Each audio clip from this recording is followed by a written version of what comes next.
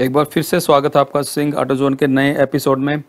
आपने अक्सर मेरे अपडेट्स में देखा होगा कैसे मैं होंडा टू व्हीलर्स को थम्स डाउन करता रहता हूँ कि भारत में इतना बड़ा सेगमेंट होने के बावजूद भी, इतना सेल फिगर होने के बावजूद भी वो इलेक्ट्रिकल व्हीकल्स पर कुछ भी ध्यान नहीं दे रहा है, कोई सीरियस एफर्ट नहीं कर रहा है।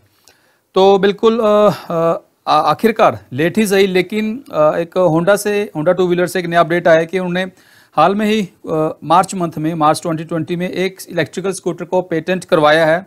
लेकिन ये वो नहीं है जिसका हम सभी भारतीय बेसब्री से इंतज़ार कर रहे थे। मीन्स ये एक्टिवा बेस्ड इलेक्ट्रिकल स्कूटर नहीं है। ये जो होंडा का ग्लोबल मॉडल है पीसीएक्स उसी पर बेस्ड एक मैक्सी स्टाइल इलेक्ट्रिकल स्कूटर है। और जैसे कि हमें कुछ इन फ़ोटो से क्लियर होता है कि ये two battery pack under seat इसमें रहेंगी। और कम्स विद हब मोटर इसमें रहेगा और मार्च मंथ में इसमें पेटेंट फ़ाइल किया था 2020 में। लेकिन जैसा हम जानते हैं पीसीएक्स के बारे में जो इसका डिज़ाइन है, जो बैटरी पैक है, जो इसके अदर फीचर्स है, ये बिल्कुल भी एक अफोर्डेबल सेगमेंट नहीं है। ये एक प्रीमियम कैटेगरी का स्कूटर है। मुझे समझ में नहीं आ रहा कि होंडा पहले इसको पेटेंट क्यों कर रहा है, क्या इसको पहले लॉन्च करने की प्लानिंग है। सीधी सी बात अब इसका प्राइस जो बजाज चेतक है एथर है या टी वी है, उनसे कहीं ज़्यादा रहेगा।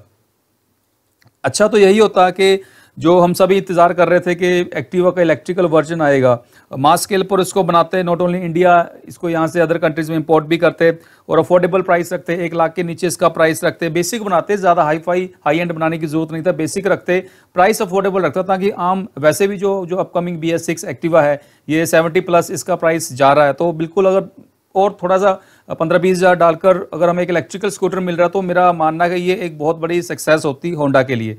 बट समझ में मेरी भी नहीं आया कि क्यों एक प्रीमियम सेगमेंट को पहले ये पेटेंट करवा रहे हैं। खैर कोई कुछ और अपडेट निकल कर आएगा एक्टिवा से जुड़ा तो आपके साथ शेयर करूँगा सबसे पहले। फ़िलहाल आज के लिए इतना ही। धन्यवाद वीडियो को अंत तक देखने के लिए। जय हिंद।